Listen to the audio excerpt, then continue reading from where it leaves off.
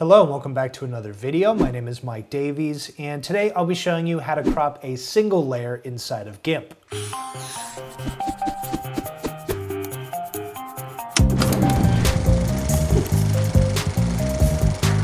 Real quick before I dive in, if you want to see more tutorials covering free and open source software like GIMP, don't forget to like this video, subscribe to my channel, and click the bell icon to be notified each time I have a brand new tutorial. So here I have a composition opened up and over in the layers panel, you'll see I have two layers. So I have one photo on each layer. If I hide this top layer, you'll see the photo below. Let me click this icon here to unhide the top layer. So let's say we wanted to crop only the top layer. Well, I can do that by using the crop tool over here in the toolbox.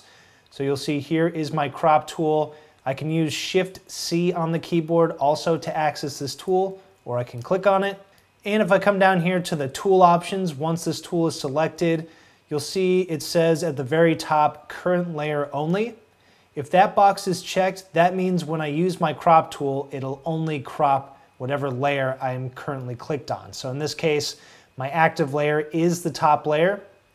And now what I can do is click and drag my mouse and release my mouse.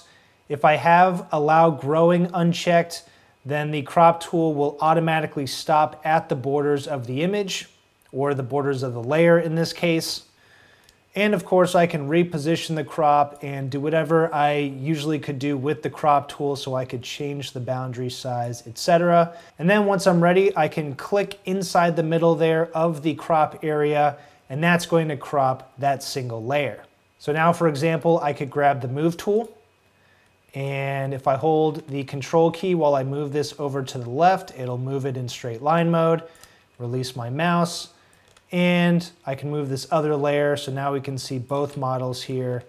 And of course I can continue adjusting that. All right, so that's it for this tutorial. Hopefully you liked it. If you did, don't forget to like this video, subscribe to my channel, and click the bell icon to be notified each time I have a brand new tutorial. You can also check out any of the links to my resources in the description of the video, including to my GIMP masterclass from beginner to pro photo editing on Udemy. But thanks for watching, and I'll see you next time.